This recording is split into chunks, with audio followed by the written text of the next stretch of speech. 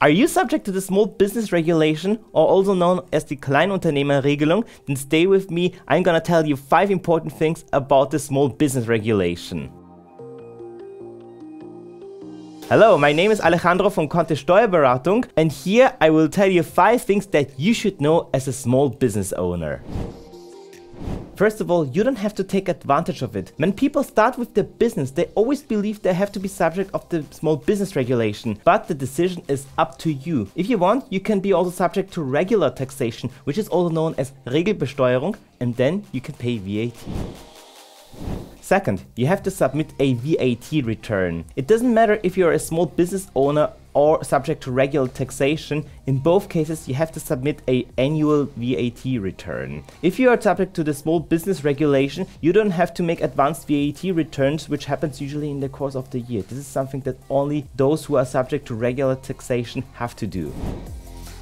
Number 3. It is not always the best choice for you. When people just start with their business, they believe that the small business regulation is the best choice for them. But honestly, it isn't always. Imagine you have a lot of expenses, especially high expenses when you start with your business. Let me give you an example. You buy a computer, it costs 1000 euros and you have to pay 119 euros in VAT, which is equivalent to 19%. If you're subject to the small business regulation, you cannot claim back the 119 euros but if you are subject to the regular taxation, then you can get back these 119 euros and this is actually very beneficial for you.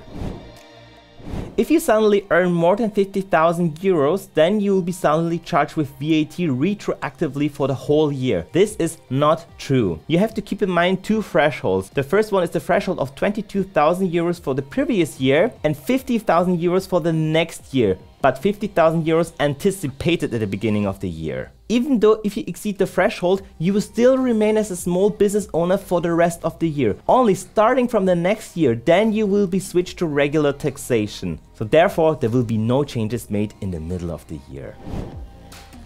And number 5, Reverse charge cases. What does reverse charge actually mean? It means that services that you receive from some business partner that is located in the European Union will be taxed not in their respective country, but it will be taxed in Germany. Let me give you an example. You are a content creator on Instagram and you pay 1000 euros for advertisement. Instagram is owned by Facebook. Facebook is headquartered in Ireland. So therefore, you will be not charged with Irish VAT, but with German VAT, which will be then 190 euros. And in this unique case, you have to submit a quarterly VAT return for all the services that you receive from a country from the European Union. The only exception. I promise.